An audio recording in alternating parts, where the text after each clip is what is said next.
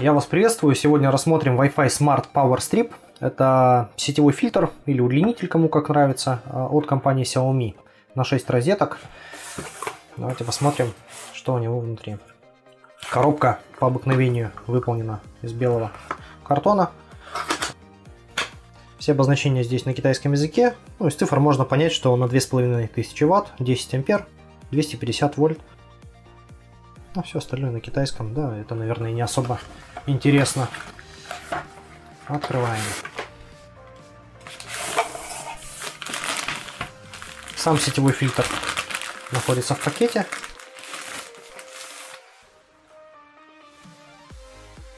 Удлинитель из белого пластика на 6 розеток. Три из них э, европейские, три оставшиеся универсальные.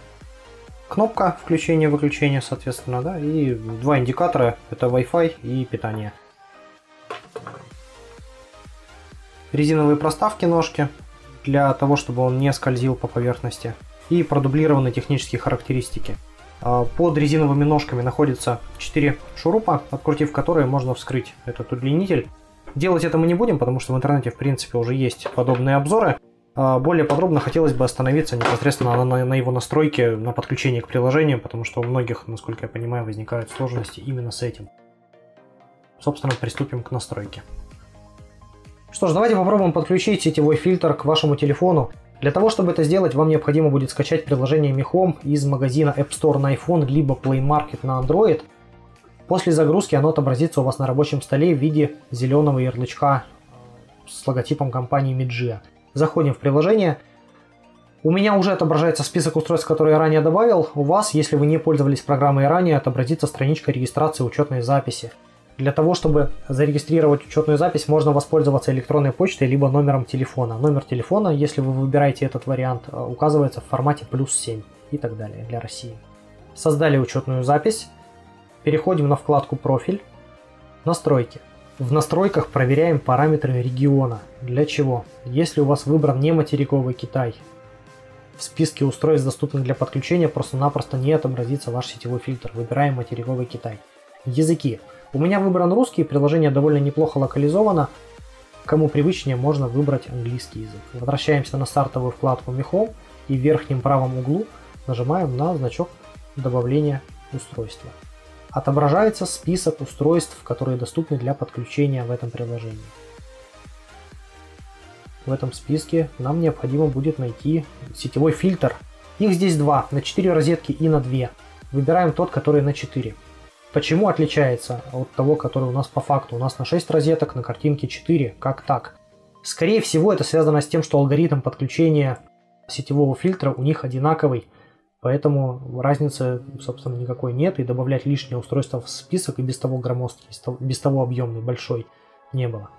Здесь необходимо поставить флажок, галочку о том, что индикатор, э, подтверждающий о том, что наш индикатор горит оранжевым цветом, мигает оранжевым цветом, и нажимаем кнопку «Далее».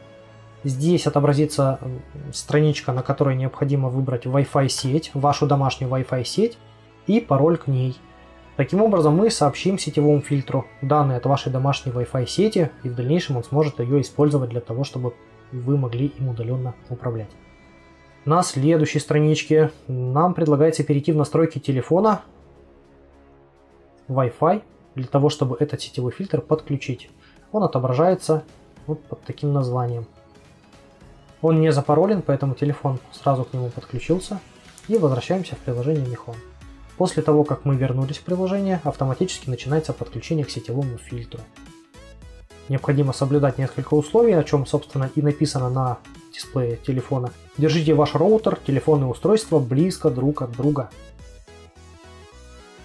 Необходимо выждать, пока приложение подключиться к сетевому фильтру. Не обязательно дожидаться 100%, как правило, порядка там 40-50% оно уже пускает вас на следующую страничку настройки роутера, э, роутера, удлинителя. После того, как у вас произошло подключение к сетевому фильтру, индикатор на сетевом фильтре у вас загорится постоянным синим. Это говорит о том, что он успешно подключился к вашему роутеру, к вашему домашнему Wi-Fi.